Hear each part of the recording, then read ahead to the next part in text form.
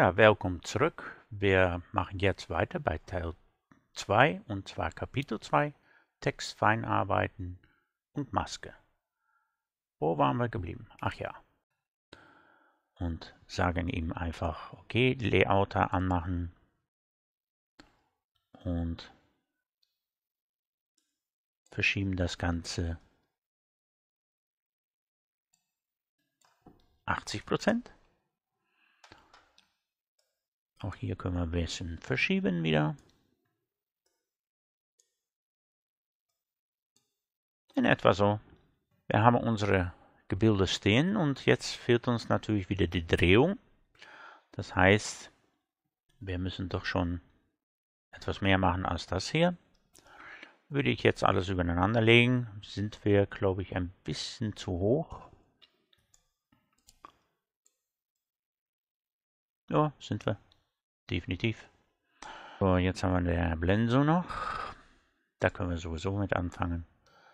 Das heißt, auch der müsste jetzt mal in der Y-Achse etwas weniger haben. Ich würde hier auch sagen, werden etwas kleiner. Ja. Machen wir mal 70 und gucken, wie das in 3D wenn wir das mal ändern, sich ändert. Ein bisschen höher würde ich das auch setzen, damit wir wirklich den Platz haben, nachher das Ganze durchzuführen. Gut, der zweite ist genauso ein Problem natürlich. Ach, nicht in der Titler. Äh, dürfte ich.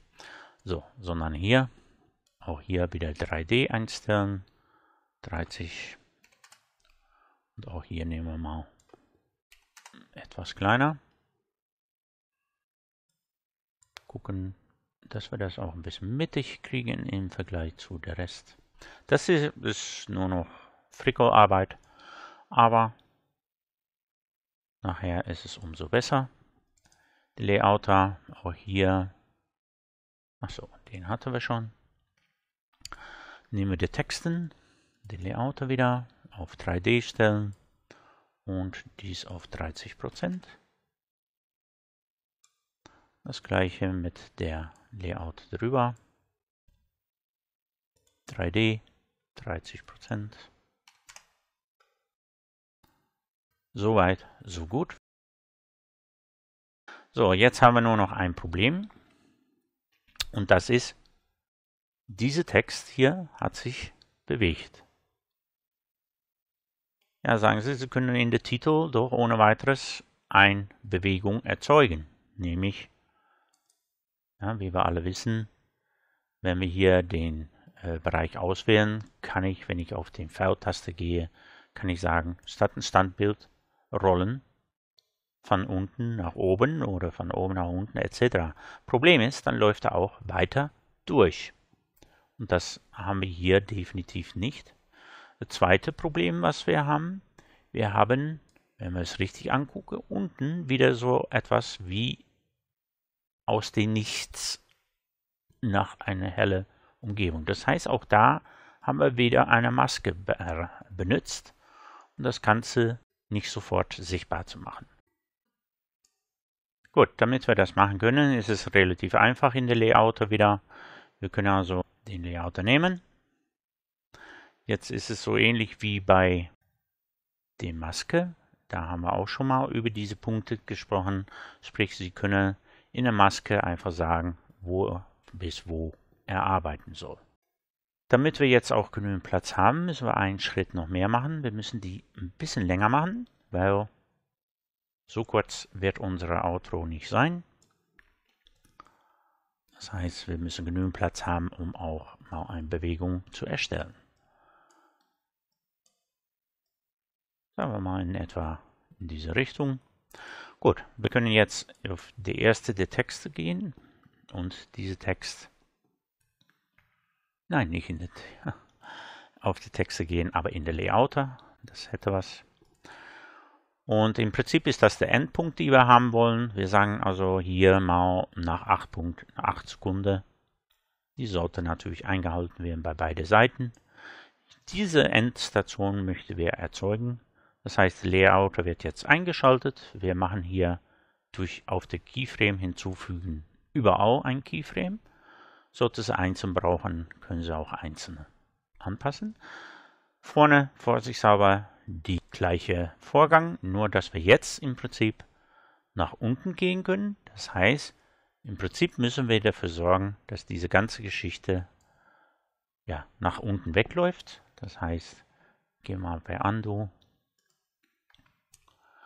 und machen jetzt einfach ups, den Y-Achse so weit nach unten, dass wir das Bild verschwunden haben.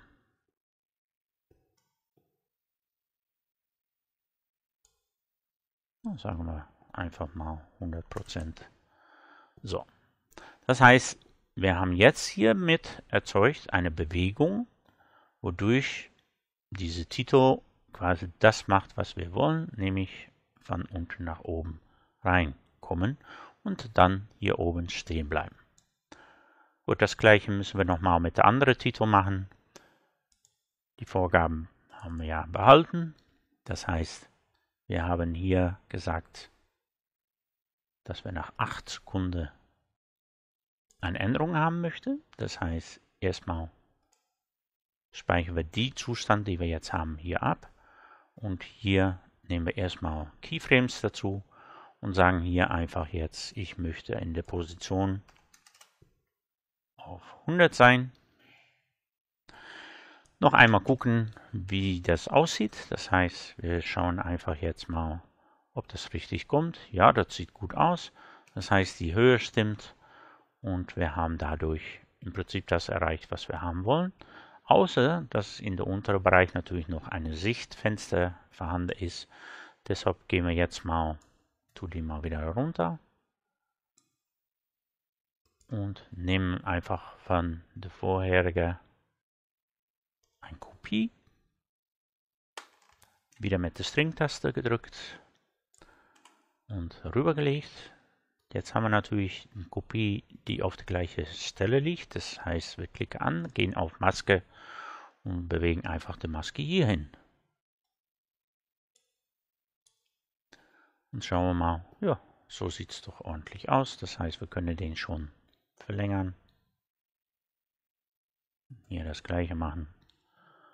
Ja, und wir haben jetzt unsere komplette Geschichte so, wie wir sie haben möchten.